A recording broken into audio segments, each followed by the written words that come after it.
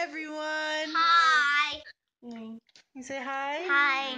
We're going to do a read aloud today, and we have a fun and interesting book today called Germs Make Me Sick. Germs Appropriate, make me sick. right?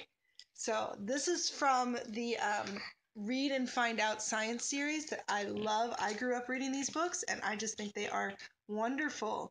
So, you girls ready to get started? Yeah. All right, here we Make go. Me Sick by Germs Melvin Berger, illustrated by Marylin Hafner. Germs make me sick. Where can my mug at? Yeah. Go away. Hurry, you'll be late for school. Rise and shine.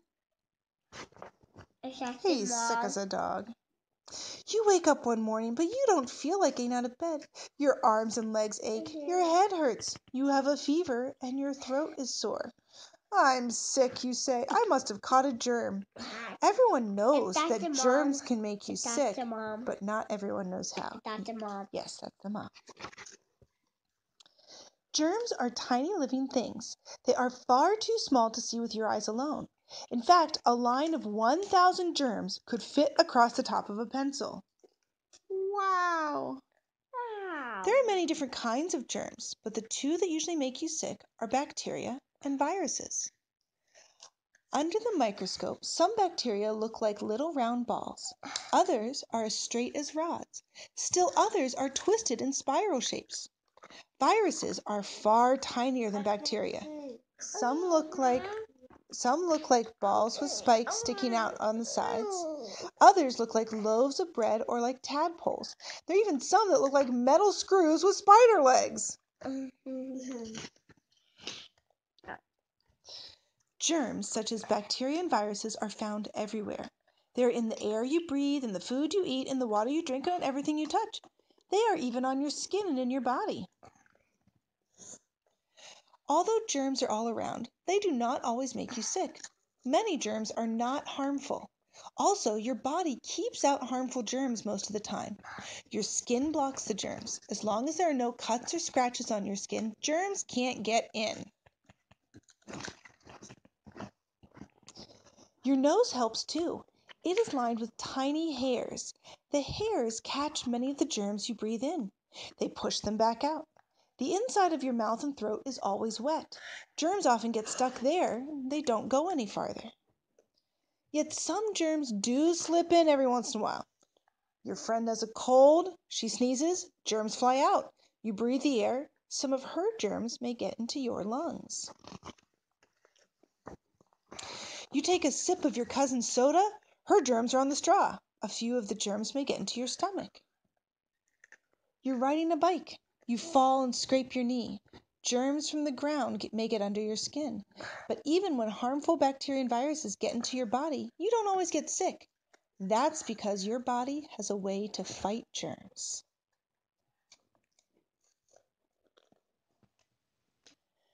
The white cells in your blood go after any germs that sneak in. Usually these germs, these cells kill the germs before they can do any harm. Your blood also has special proteins that attack germs. They are called antibodies. The white blood cells and antibodies don't always get rid of the germs though. Some germs stay in the body and make you sick. What if the germs in your body are bacteria? They quickly start to multiply. Each one becomes two new bacteria, and then they become four, and so on.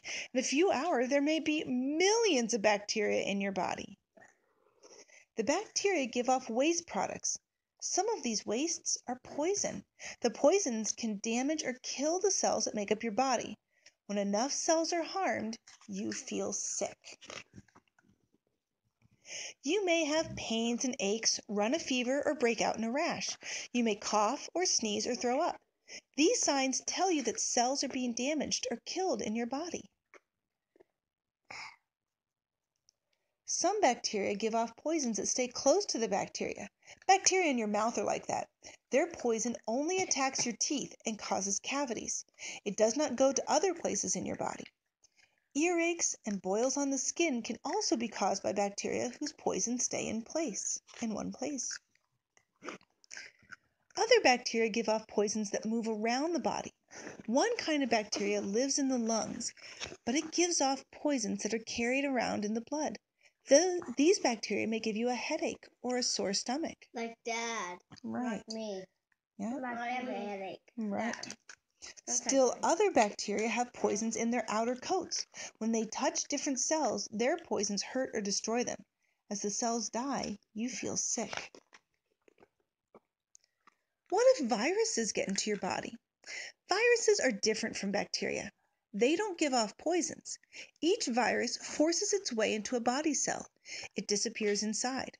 For a while, it seems like nothing seems to be happening. Then suddenly the viruses break out of the cell. Hundreds of new viruses tumble out. Each virus finds another cell and digs its way in. Then these cells pop open and more viruses pour out. Soon there are millions of viruses in your body. The viruses spread out. As they do, you feel worse and worse. Viruses bring you the colds and the flu, measles, mumps, and chickenpox, and lots of other illnesses. Though bacteria and viruses can make you sick, you usually begin to feel better after a day or two. Your body has beaten back the germs. At times, though, you will feel very sick or stay sick for days. Then you should see a doctor. Doctors try to find out which germs are making you sick. What hurts, they ask. Let's take a look. Perhaps they swab your throat with cotton, or they send the, then they send the cotton with the germs on it to a lab. Or they may make a few drops of blood from your fingertip or arm. That goes to a lab to be tested as well. Your doctor gets a report from the lab. It tells whether the germs are bacteria or viruses. If bacteria are making you sick, the doctor usually prescribes some drug. The drug will either kill the bacteria or stop them from growing.